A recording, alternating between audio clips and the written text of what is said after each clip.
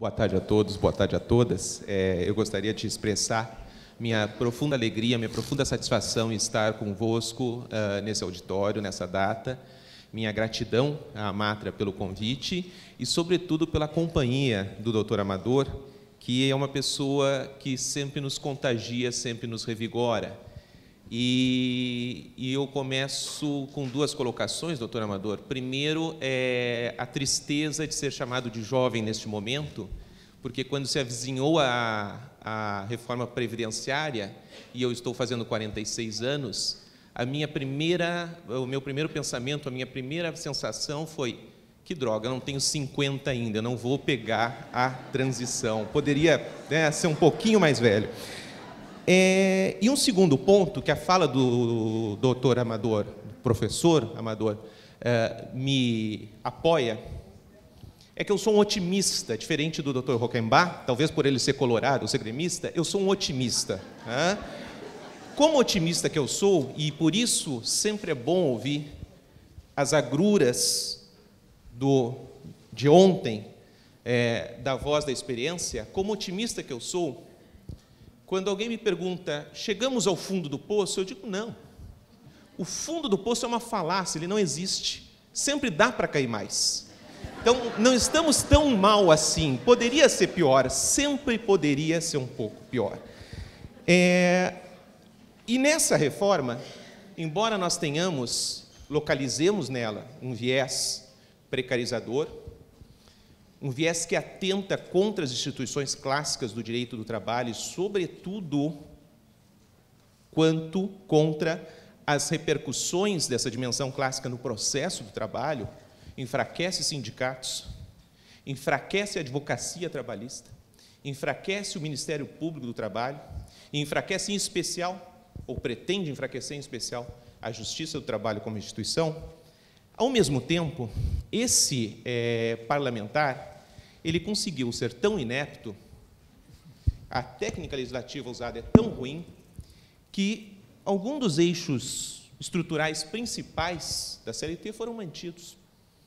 E são o nosso arcabouço, né? são, são aquilo, nosso ferramental, nossa utilidade, é aquilo que nós temos para reenquadrar uh, o direito do trabalho. Então, nós tivemos mantido, ali já se colocou desde o início desse evento, o artigo 9 o que é Fraude não tem jeito, vai continuar sendo fraude, nós declararemos que é fraude e, portanto, não terá efeito nenhum para fins de direito. O 765 da CLT, com os poderes instrutórios excepcionais do juiz, o 468, alterações contratuais lesivas, mesmo que com a anuência do trabalhador, são inválidas no curso da contratação. Então, nós temos aí um arcabouço ainda de, uh, de remédios, um ferramental extraordinário que nos foi legado pela história, que foi construído socialmente e que permanece à nossa disposição. E dentro dessa, dessa questão de ser um otimista e entender que nós temos muitos mecanismos ainda para trabalhar e compreender os próprios institutos do direito do trabalho, eu vou discordar um pouquinho dos colegas que me antecederam e dizer que eu vislumbro que em alguns momentos nós podemos extrair algumas coisas boas da reforma. Né?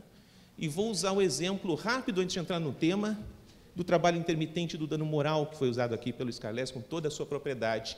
Eu acho que desse limão, desse limão que o nosso parlamento presenteou à sociedade, acho que desse limão a gente ainda consegue fazer uma caipirosca. É, é, vai precisar afeto, vai precisar probidade, vai precisar perspicácia, ou seja, açúcar vodka e gelo, né?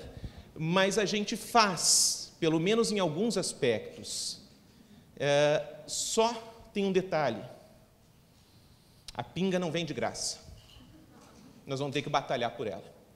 Não adianta esperar, por exemplo, que o TST, num arroubo de lucidez, como os antigos déspotas esclarecidos, venha e diga: juízes, dessa reforma aplica-se isso e não isso previamente. Não.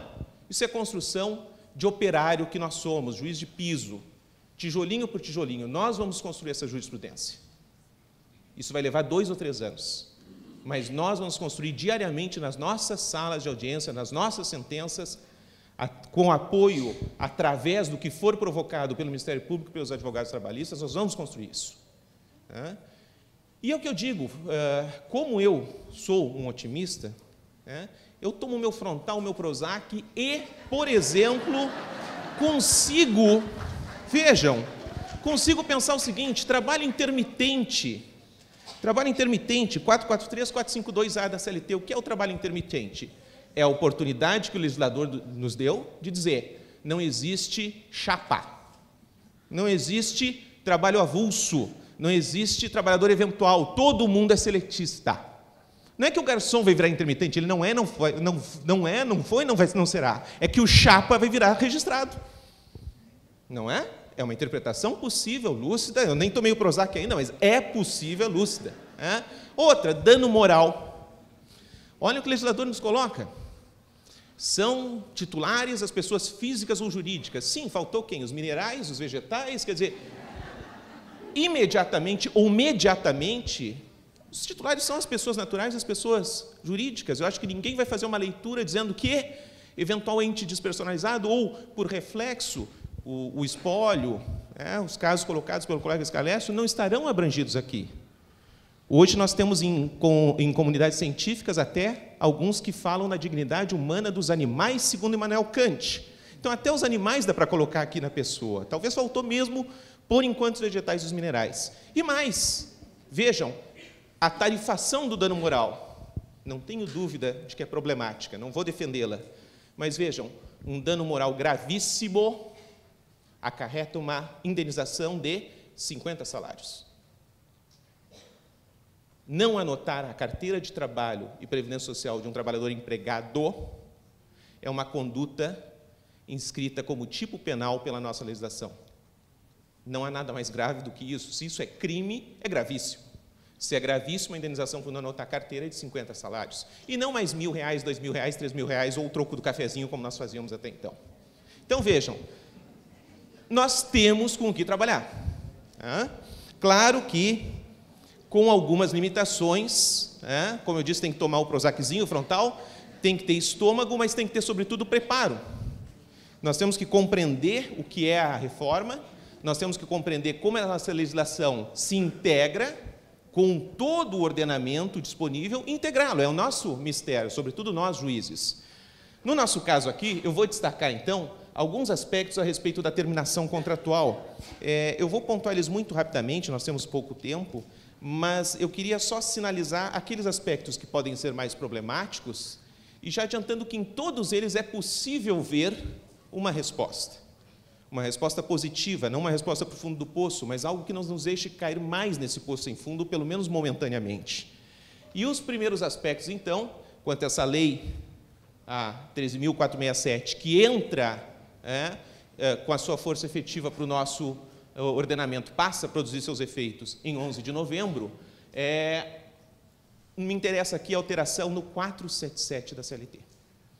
Então, eu tenho aqui, esse material vai ficar à disposição, nós temos aqui a nova redação do texto do 477.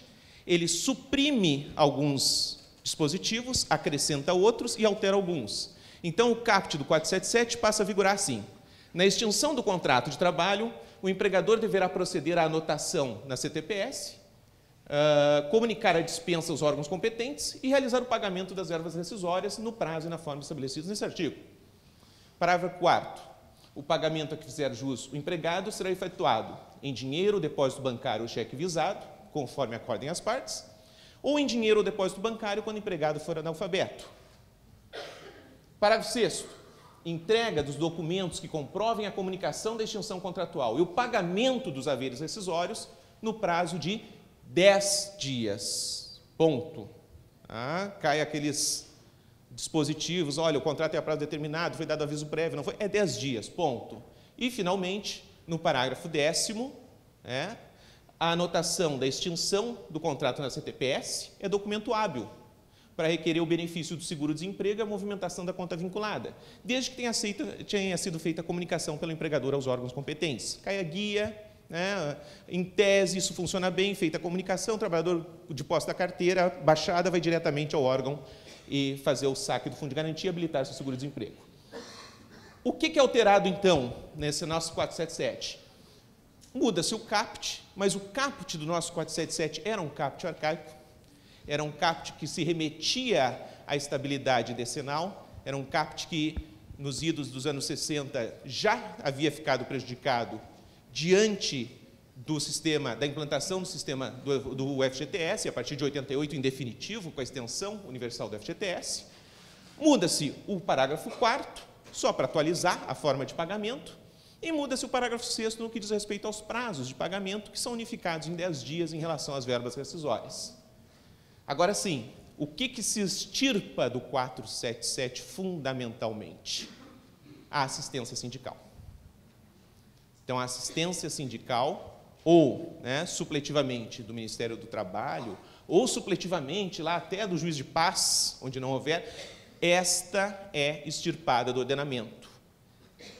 Mas vejam, o, legislador é, é, interessante porque ele tira ah, essa disposição do 477, parágrafo 1, que é assistência sindical, mas esquece de tirar assistência sindical do 500, que é o trabalhador estável. Então, para o trabalhador estável, o pedido de demissão dele, qualquer que seja a estabilidade, continua dependendo para a sua validade da assistência sindical ou do Ministério do Trabalho. Para os demais não estáveis, não. Não há mais homologação da rescisão, não há mais a, a assistência no momento do pedido de demissão. E agora, é, a partir daí, nós temos duas novidades no 477, o 477A e o 477B. O 477A trata das dispensas coletivas. Que diz ele? As dispensas imotivadas, individuais, plurimas ou coletivas equiparam-se para todos os fins, não havendo necessidade de autorização prévia de entidade sindical ou de celebração de convenção coletiva ou acordo coletivo de trabalho para sua efetivação. Eu já comento, só quero mostrar o 477B. 477B, plano de demissão voluntária ou incentivada para dispensa individual, plurima ou coletiva, previsto em convenção coletiva ou acordo coletivo de trabalho, enseja quitação plena e irrevogável dos direitos decorrentes da relação empregatícia, salvo disposição em contrário estipulada entre as partes. Na sistemática do 477, então, nós temos três importantes modificações. A primeira, cai a assistência pelo sindicato profissional ou pelo Ministério do Trabalho no ato da rescisão. Essa cai. E cai, em consequência, aquele entrave que era, para o empregador, de ter que validar o pedido de demissão do trabalhador com mais de um ano, a partir de 12 meses, perante o sindicato ou o Ministério do Trabalho. Segunda questão é a questão das dispensas, então, coletivas, que são equiparadas para todos os fins às dispensas individuais.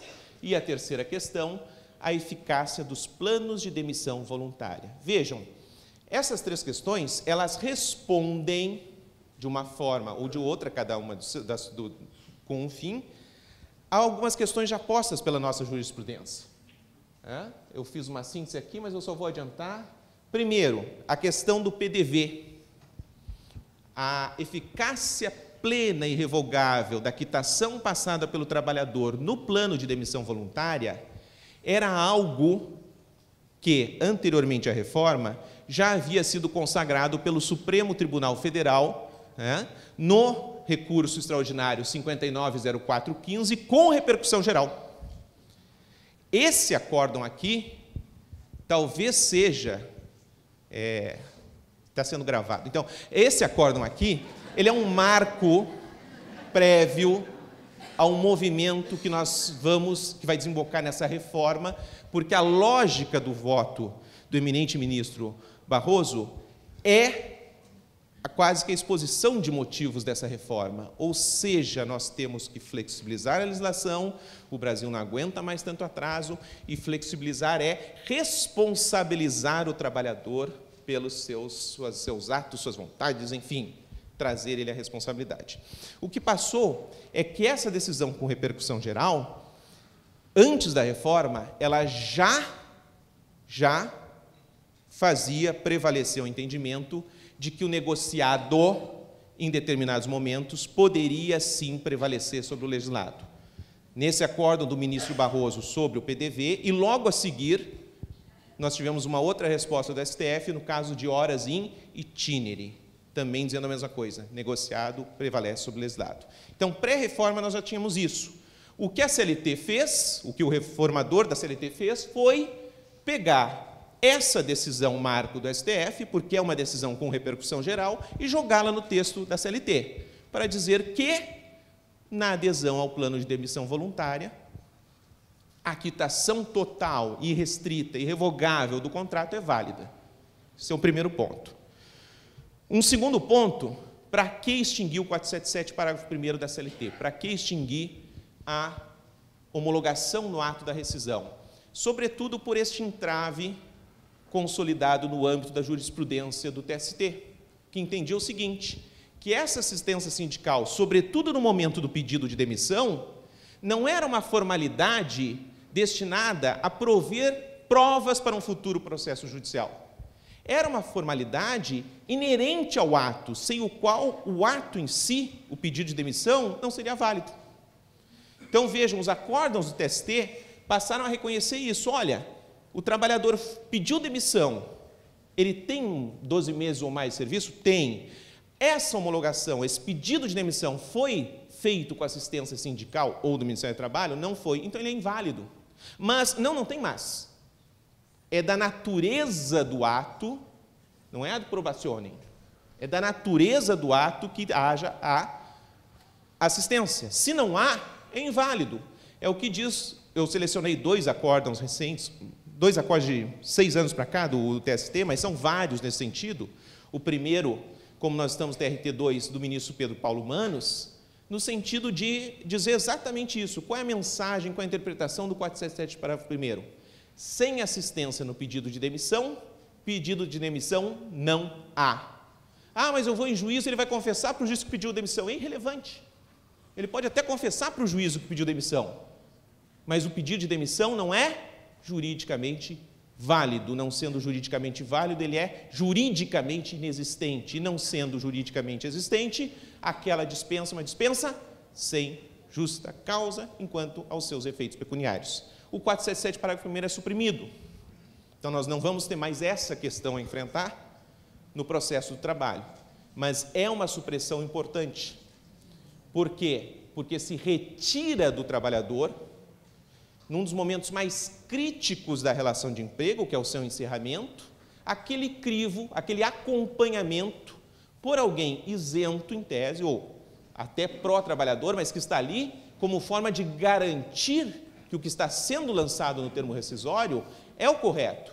Como forma de perguntar ao trabalhador: você não tem nenhuma estabilidade, você não sofreu nenhum acidente, você não tem nenhuma sequela, você está pedindo demissão, você é estável, você realmente pensou nos efeitos disso? Você está realmente uh, certo uh, e orientado sobre os efeitos disso? Isso se retira do ordenamento. Então, no âmbito do 477, uma alteração mais impressionante e que está engendrada com o movimento de enfraquecimento do sindicato e do Ministério do Trabalho é a retirada da assistência.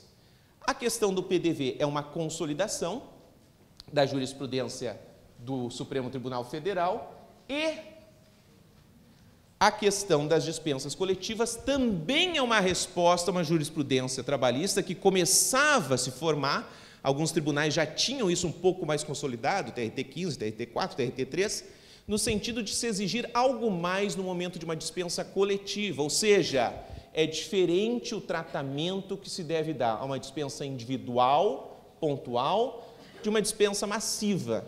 Na dispensa massiva, há outros valores de jogo, inclusive o direito de informação do sindicato sobre o que está acontecendo. Isso o legislador tentou brecar. O legislador disse: não, olha, esquece essa jurisprudência e vamos combinar o seguinte: dispensa é dispensa, seja ela individual, plurima ou coletiva. Os requisitos são os mesmos e não há que falar em necessidade de prévia eh, estipulação sindical, em prévia negociação, acordo, convenção, enfim. Então, são esses os três grandes eixos de alteração aí no 477. Com eles, eu fiz apenas um quadro sinótico aqui muito breve, então, na antiga CLT, quer dizer, atual CLT, nós temos assistência sindical, que resta suprimida. O artigo 477, parágrafo 8 a multa pelo não pagamento tempestivo das verbas continua, se mantém, sem problema. E o que é novo é isso: prazo para pagamento das rescisórias, 10 dias, independentemente do motivo da terminação do contrato. É pedir demissão, teve aviso prévio, não teve, 10 dias. Dispensas imotivadas, individuais, plurimas ou coletivas, equiparam-se para todos os fins. E plano de demissão voluntária ou incentivada, se prevê a quitação total e irrevogável, este é o efeito, dá-se a quitação eh, total e irrevogável. A isso combina-se a alteração do 484A, que cria uma nova modalidade de terminação. É? Vejam, eu acredito que os colegas juízes, advogados, procuradores tinham um problema que nós costumávamos uh, chamar de, entre aspas, casadinha, quando as partes vinham previamente acertadas a uma audiência, não havia lead, mas simulavam uma lead com efeito de obter um efeito rescisório determinado e obter a quitação do contrato. É, nós vamos ter menos problema com a casadinha, porque agora ela é legal, ela é oficial. É, Acabaram-se os nossos problemas. Nós não precisamos mais perguntar, mas foi o advogado da empresa que pediu para o senhor vir aqui? Foi, doutor, legal, achei bacana. Oh, que bom, então vamos lá, vamos resolver isso aqui. Vamos dar segurança jurídica a esse ajuste que foi feito sem lide, porque dissídio não havia e vamos homologá-lo. Isso vai vir bastante para nós. O que prevê o 484A?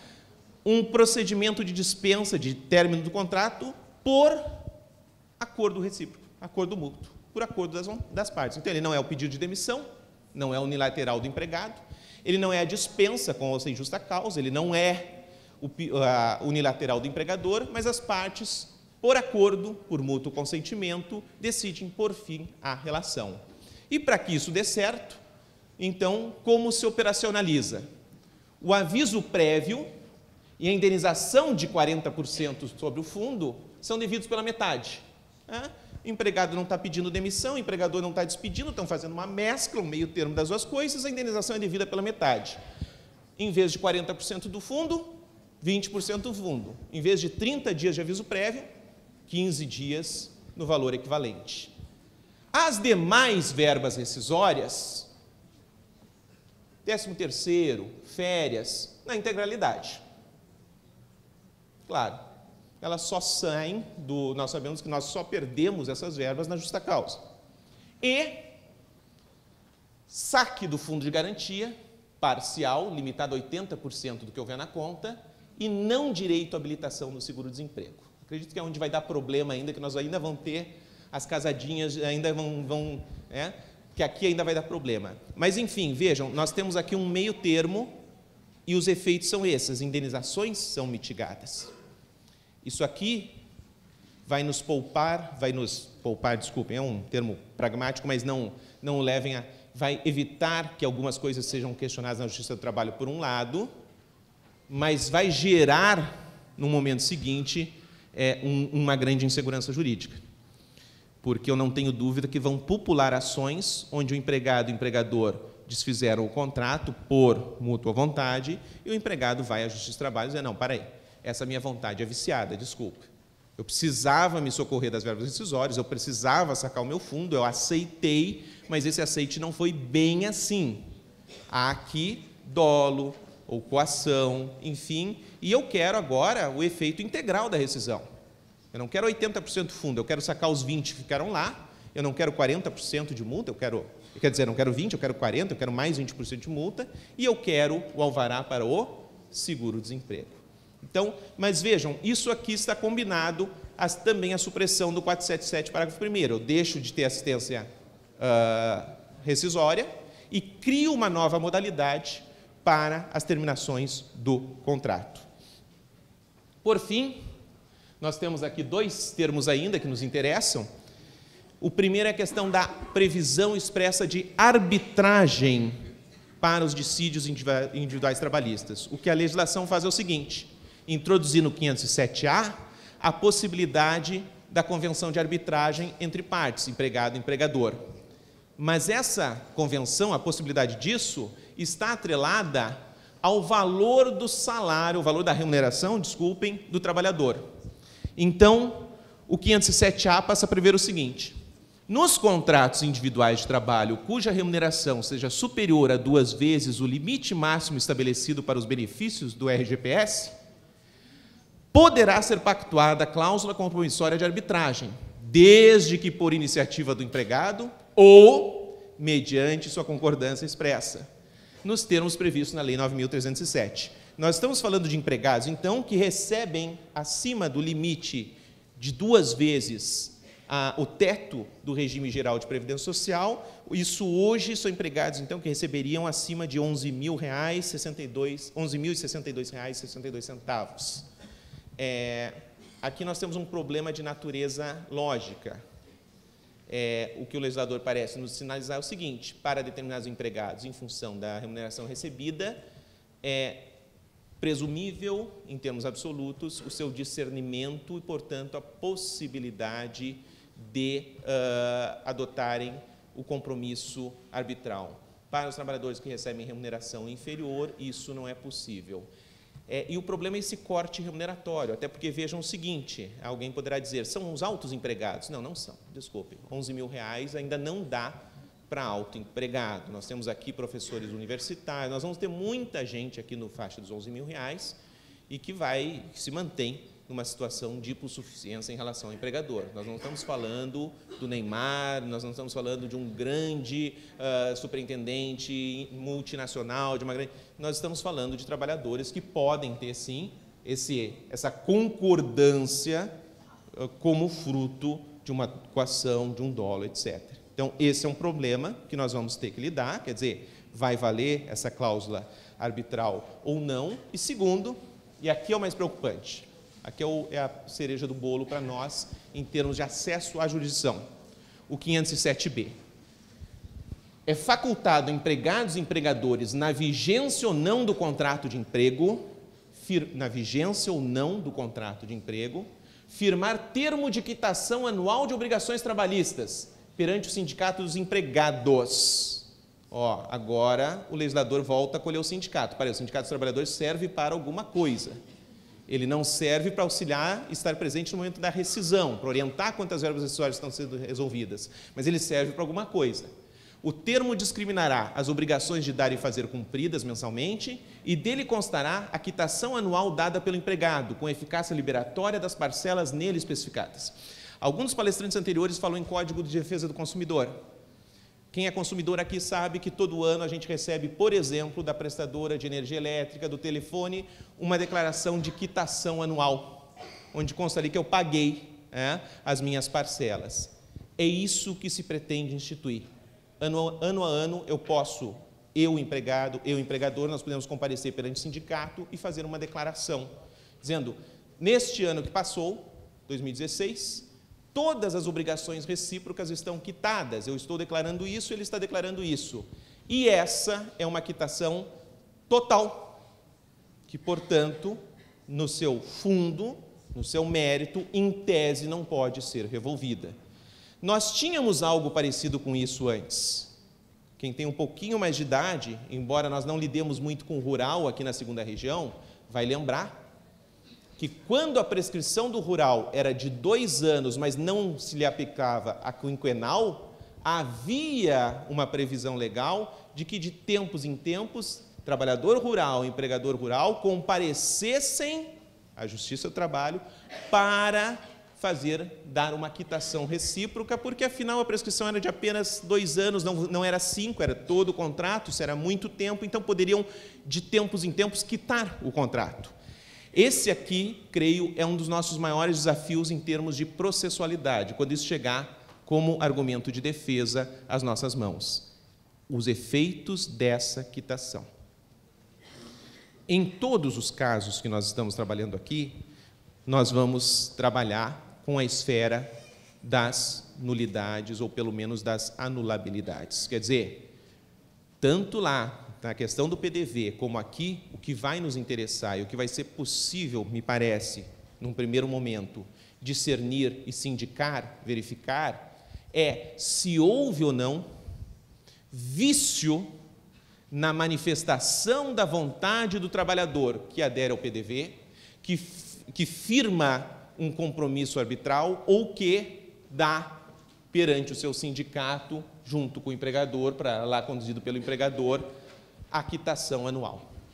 Então, me parece que aqui nós teríamos sempre uma, nas nossas reclamatórias, onde se questionar isso, uma, uma faceta anulatória, uma ação anulatória embutida na ação trabalhista, no sentido de primeiro perquerir se houve vício na formação dessa vontade, e aí sim, havendo o vício, nós vamos desconstituir essa quitação, com todas as dificuldades que nós temos para fins probatórios de vício, se nós não o presumirmos absolutamente. Mas é uh, um caminho. Então, em termos de cessação do contrato de trabalho, de extinção contratual, são essas basicamente as grandes alterações que nós temos. O 477 deixa de exigir assistência sindical, prazo de pagamento unificado em 10 dias, a expressa disposição legal acerca de um tratamento similar entre dispensa individual, dispensa plurima e dispensa coletiva, sem necessidade de negociação prévia coletiva para a dispensa em massa, compromisso arbitral possível para aqueles trabalhadores que recebem remuneração superior a duas vezes o teto dos benefícios do regime geral de previdência social e o termo anual de obrigações trabalhistas, ou seja, a possibilidade de comparecerem empregado e empregador perante o sindicato da categoria profissional e lavrarem um termo dando reciprocamente quitação do ano anterior em relação às obrigações contratuais. Como fica, então, como ficamos em termos de aspectos processualistas, papel da justiça do trabalho? De uma forma, sem voltar naquilo que já foi dito pelos colegas com, com mais zelo, é, o nosso papel passa a ser mais importante em dois aspectos. Primeiro, na sindicação dos vícios de vontade. Ah, muito da tônica da reforma é dar ao trabalhador uma responsabilidade. Uma responsabilidade naquele termo que usam os psicanalistas. Você é responsável pelo que você faz, não culpe os outros. Uh, nos compete, no momento de analisar esses institutos, sobretudo verificar em que grau efetivamente as manifestações de vontade do trabalhador se dão livremente. Nós sabemos que, por princípio, por termo axiológico, por história social construída, o direito do trabalho não presume a total liberdade de manifestação do empregado frente ao empregador.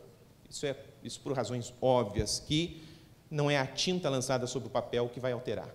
Mas nós temos que ter essa sensibilidade de apurar em juízo e fundamentar racionalmente a convicção quando, quando entendermos que ali não houve essa manifestação livre da vontade, que vai gerar um óbice àqueles aspectos. E um segundo aspecto, e aí eu vou terminando, mas ressalvando a nossa responsabilidade aqui, é sim, e aí vou voltar a bater no que bateram os colegas e que vão bater os palestrantes e o que será a nossa última palestra do dia. Reforçar que nós temos cada vez mais que nos voltarmos para a observância dos princípios do direito do trabalho, para a estrutura que a própria CLT mantém e nos oferece em termos de aparelhagem para bem compreendermos uma relação de trabalho e bem atribuirmos os direitos relativos àquela relação, artigo 9, artigo 468, artigo 765, e prestarmos atenção cada vez mais na vertente fundamental do direito do trabalho, enxergar o direito do trabalho e aqueles direitos que emergem da relação de emprego e do trabalho em geral, cada vez mais como fundamentais e, dentro dessa fundamentalidade, integrá-los aos preceitos da Constituição e dos grandes tratados e convenções de direitos humanos a que nós nos responsabilizamos. É, nós temos que ver, pensar o direito do trabalho como um sistema de proteção da pessoa, sobretudo. É, o, o, direito do trabalho ele tem uma especificidade. Isso já foi reportado pelos colegas também. A, a, própria declaração de Filadélfia, que diz que o trabalho não é uma mercadoria, vem nesse sentido. Nós estamos tra tratando de pessoas. E o trabalho tem uma dimensão econômica, mas não só. Ele tem uma dimensão cultural, ele tem uma dimensão social, ele tem uma dimensão de realização pessoal, que é muito mais, muito para além do econômico. E claro, lembrar sempre, é, ah, isso foi dito muitas vezes durante a reforma tal. Trabalho dignifica o homem, é, é, nós não temos que pensar nisso. Nós, advogados trabalhistas, procuradores do Ministério Público do Trabalho, juízes do trabalho, uh, servidores da justiça, nós não temos que pensar isso. Olha, o que está em jogo é o trabalho, o trabalho como fator dignificante. Não, não.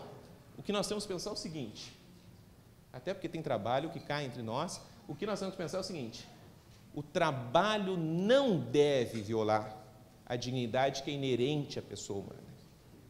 E a nossa função, a nossa função é ditarmos aquilo que o ordenamento prevê, justamente para evitarmos que um ser humano se transforme num portador de simples mercadoria. Vejam, quando nós estamos diante de um contrato de trabalho, nós não estamos diante de pouca coisa. O contrato de trabalho é o único contrato lícito de arrendamento de músculos e cérebros humanos. Um empregado empresta o seu corpo e a sua mente ao empregador mediante um pagamento. Isso só é lícito no âmbito desse direito, no âmbito desse tipo de contrato. O que nós temos que ter é essa visão de manter a dignidade humana, de forma que o direito do trabalho, as condições do trabalho e o processo do trabalho não venha afrontados. Uma última intervenção e eu paro, já esgotou o meu tempo. É, nós nos preocupamos muito com as violações de direitos humanos no âmbito das relações materiais de trabalho. Nós temos que passar cada vez mais, advogados, juízes e procuradores do trabalho, mas sobretudo juízes, a pensar que uma pessoa que teve a sua dignidade afrontada no âmbito de uma relação material de direito do trabalho, no âmbito de um contrato de trabalho, não pode vir ao judiciário e ter a, sua, dignidade novamente arranhada no âmbito do processo de trabalho. Nós não podemos pegar e danar novamente a vítima de uma injustiça. Então, a partir de agora, a reforma nos chama a uma reforma de pensamento nós temos que ser mais responsáveis na hora de aplicá-los. A reforma é sedutora sobre alguns aspectos. Se nós pensarmos com estatística, desculpem a, a, a, a sinceridade, é mais fácil matar processos com a reforma. É mais fácil. É mais fácil para o juiz livrar-se rapidamente de um processo. É mais fácil imputar uma responsabilidade a um reclamante e dizer: seu desgraçado, você que não entrou antes, entrou de novo, perdeu o trem, não chegou naquela audiência, agora você não vai reclamar mais. Você perdeu a sua vez. Quanto a isso, nós temos que estar mais atentos. E uma última questão, é, só um recado, então, nós estamos com um projeto de construção de uma CLT virtual, isso vocês têm um site chamado direitocom.com, é, e onde vocês vão ter uma CLT comentada, uh, nós estamos fazendo isso com alguns juízes e advogados, uh, de acesso gratuito. Tá? Então, esse site está aberto, essa CLT é de acesso totalmente gratuito, vocês entram no site, tem uma CLT comentada ali e nós estamos trabalhando para que em novembro essa CLT esteja devidamente atualizada. E por fim, convido os colegas servidores e juízes aqui do TRT. A nossa escola está promovendo diversos eventos no sentido de capacitar o pessoal para compreender a reforma. Nós temos um curso sobre reforma em andamento, nós somos parceiros da Matra aqui nesse, e nós vamos ter agora em outubro, já está aberto, um curso sobre controle de convencionalidade com o professor Ingo Wolfgang Sarlet e o professor Antônio Rodrigues de Freitas Júnior. Já estão abertas as inscrições. Aproveitem esses eventos. É, nós temos que começar a pensar grande, nós temos que começar a pensar em tratar direitos humanos, nós temos que começar a pensar em constitucionalidade, em controle de constitucionalidade. E nós, juízes de piso, somos muito privilegiados. O sistema brasileiro de controle difuso de constitucionalidade nos dá uma grande ferramenta. Qualquer juiz de piso ou pisados preferirem, pode ele mesmo, por si só, declarar a inconstitucionalidade de um preceito que um desembargador não pode fazer. Então vejam, nós temos que usar as ferramentas que estão ao nosso alcance. Senhores, foi um pouco curto, é o tempo que nos está, essa apresentação está disponível, mas a mensagem é essa: é, nós podemos fazer desse limão uma caipirosca. Agora, como eu disse, a pinga não vem de graça, nós temos que suar para isso. Muito obrigado.